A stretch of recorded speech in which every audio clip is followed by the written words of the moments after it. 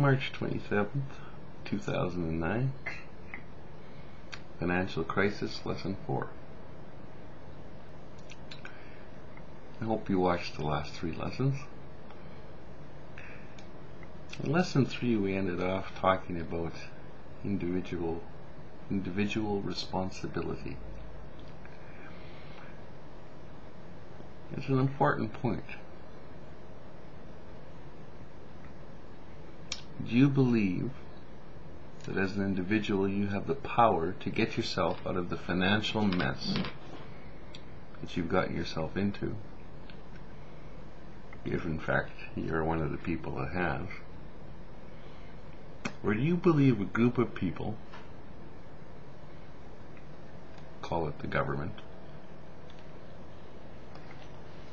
is capable of doing it better and therefore for you? Now again, I don't want to get into the philosophical issue. It's just simply a question. And what we're finding, if you look around, is that most people don't believe, and again, not all, but most don't believe that they have the internal strength to get themselves out of their own situation, so they look to somebody else or a group of people to do it for them.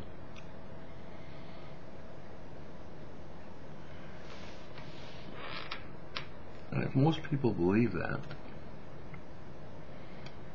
then that's the type of society and country that will evolve and is evolving. Let's backtrack a little bit. You can ponder on that. Let's talk about human nature. We've talked about credit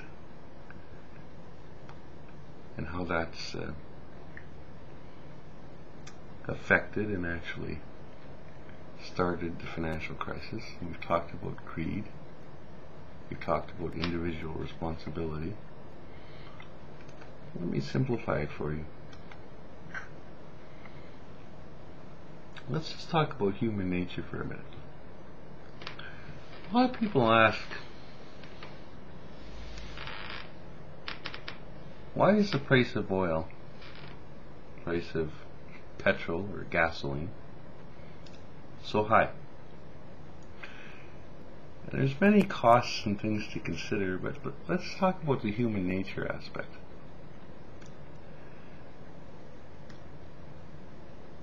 Oil is sold on the world market. You know, and I once knew a fellow that had the mineral rights to his land. Pretend you own a piece of land and you actually have the mineral rights. And suppose there's oil on your land. And the oil company, whichever one, wants to drill that oil. And they tell you that for every barrel of oil that comes out of your land,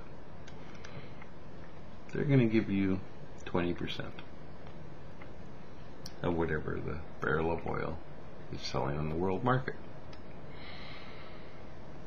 So if oil is selling for $50 a barrel, and you're going to get 20%.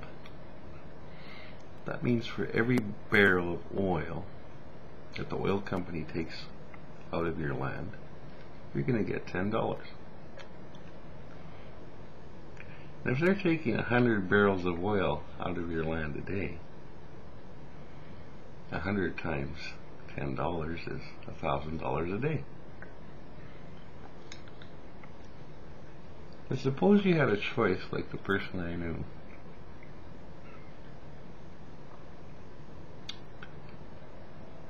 And they could sell that oil, not in the world market, but they could sell that oil to their local market at whatever price they wanted.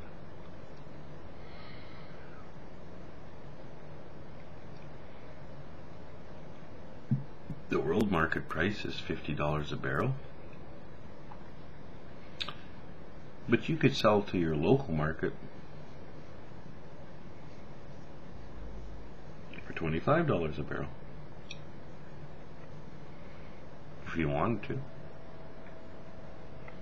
But you're still only going to get 20%.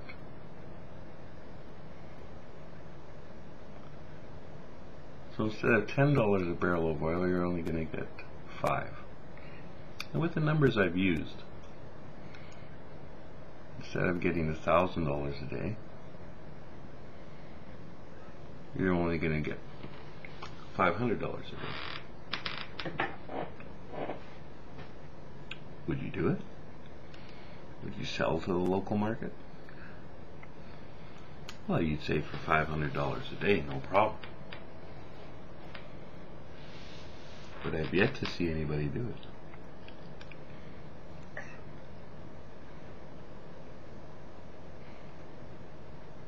And people have had the choice.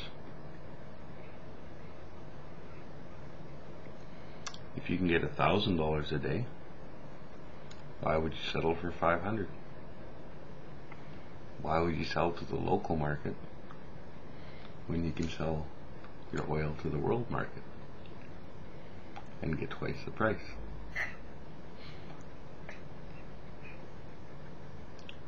Is that greed? Human nature?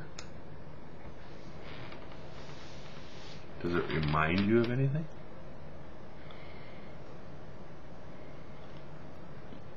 Why put your money in the bank at 4%?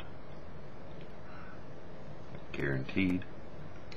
And somebody talks you into putting your money into investments at 10% or 15 or 20. A little risky. But why not get the best return for your money? You see, human nature, let's not get philosophical, but for lack of a better term, the evil side of human nature, bad side, always goes for more. Each individual always goes for more. Not always, but most of the time. What happens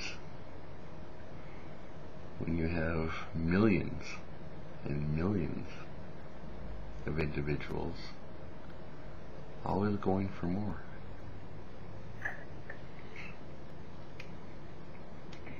Is that healthy?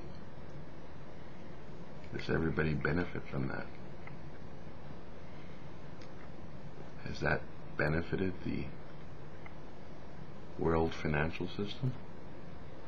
Does that benefit all the human beings in the world? Has it benefited you? Has it benefited your country, your state, your local municipality? Ask you. In the short run, it may have. But now we're in the long run, aren't we? The long, long run. What's happened with those combined individual choices? Where we've not only gone for the most we can get, but in many ways let other people make the decisions for us with our investments and risk them for us and to get the most we can at what price. Think about it. And we'll continue on in lesson five.